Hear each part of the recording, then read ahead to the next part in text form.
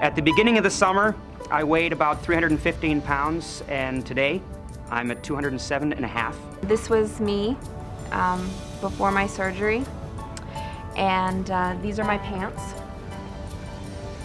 So these are my pants.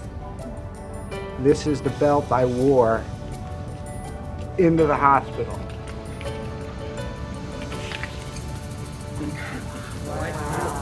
Now, How did they do it? For years, these people, like so many other overweight Americans, had serious health problems because of their excessive weight diabetes, hypertension, even cancer. They tried dieting and exercise and more dieting.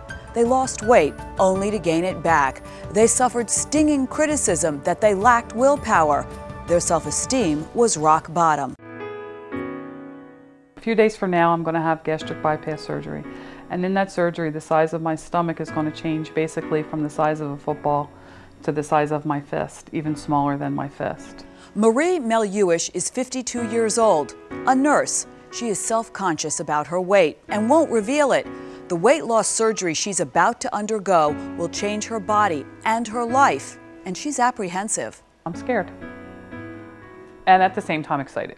Not so scared that I'm not going to do this, but it's very normal, I think, to feel this way. And she has reason to be scared. The risks of weight loss surgery are similar to those of other major surgeries.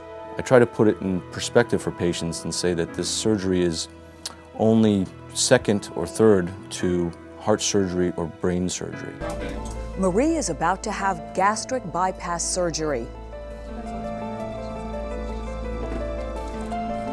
Dr. Mylan hopes to perform the surgery laparoscopically, avoiding major open surgery by making six small incisions in the abdomen using long instruments guided by a robotic camera. Paramount issue here is safety.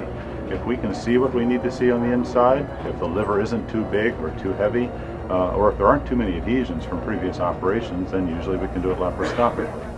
She'll lose anywhere from 50 to 75% of that excess body weight.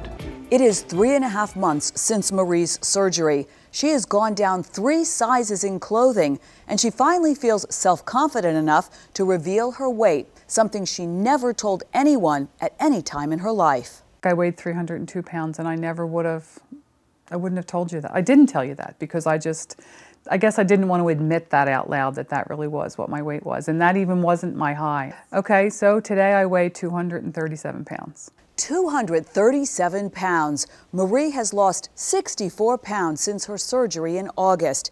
And except for a few bumps in the road, things have gone very smoothly. My back, I used to have lower back pain. The back pain is gone. I just, this amount of weight has made drastic changes in my body. Changes, both physical and emotional.